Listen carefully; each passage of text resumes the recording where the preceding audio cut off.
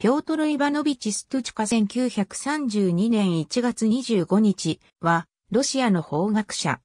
ブレストリトフスク条約の調印に、ロシア側代表として出席ラトビア共産党の創立者の一人で、ソ連の司法人民委員、ロシア連邦共和国最高裁判所長などを歴任して、初期のソビエト司法を指導した。死後、ビシンスキーに非難を受けるが、1956年に名誉回復。1965年に生誕100年が祝われた。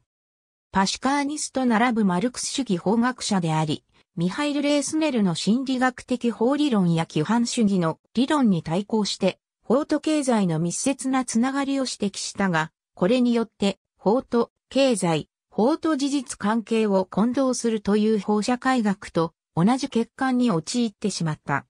彼は、法は支配階級の利益に対応し、その組織された権力によって保護されている社会関係の体系であると定義したが、この定義においては、法の上部構造性というマルクス主義の基本的理念は否定されている。また、マルクス、エンゲルスが強調した法における意志の契機をも否定した。